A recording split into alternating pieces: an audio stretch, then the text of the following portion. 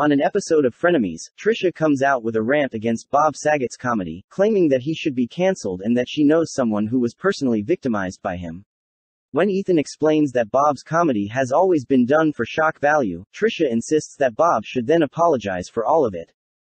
I don't actually. I don't think he has any grounds to sue you because what you're alleging isn't something very specific. So I don't think he could sue you. I'm not alleging. I, am saying it's gross the joke he made about. Let's watch. okay.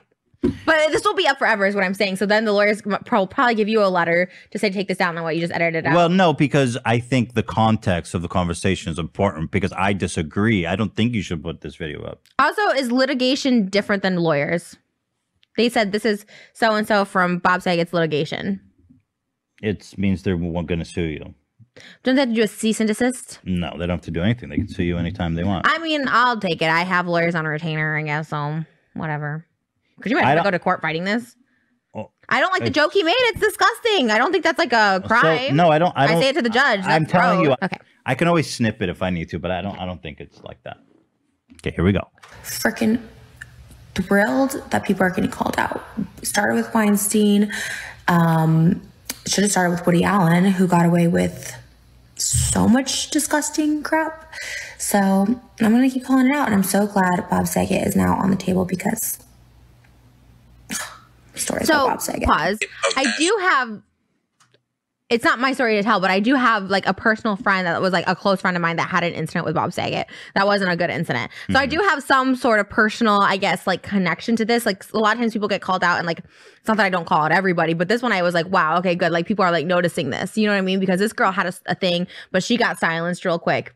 Shock comic. Like every his whole career is surrounded about saying of course, shock but I do think there's like a line that you don't cross. Bob Saget's whole career is jokes like this. He can't apologize okay, but for it's this one joke. He's gonna have to apologize for his whole about. Louis C.K. There are some things that you just don't joke about. Dude, you don't understand. Every fucking thing he says is something this offensive. Oh, then Literally. he should be canceled because it's okay, like perpetuating like this whole. It's a I'm whole other he world. He can't just apologize for this one joke. You don't understand. Well, he should. career. So if that if those are out there and this is what his career is, and I have every right to comment on it. However, Trisha has known about Bob's shock comedy for years and has even defended it over the years, and encouraged her ex-boyfriend Jason Nash to behave similarly in his own career. I said for Jason's Patreon that he should go dirty. Like he should be like Bob Saget, like Full House on the YouTube and stand up on the like Patreon, like really dirty and like That's naked. Jason sometimes will say like dirty stuff in his vlog that will never make his vlog, and I always wish he'd keep it in. And I was like, because he'll like shock me. I'll be like, what? And then I'll be like, oh. Nobody wants to see I do. Bob, people loved when Bob Saget started doing like dirty stand up. That was like a big oh. thing.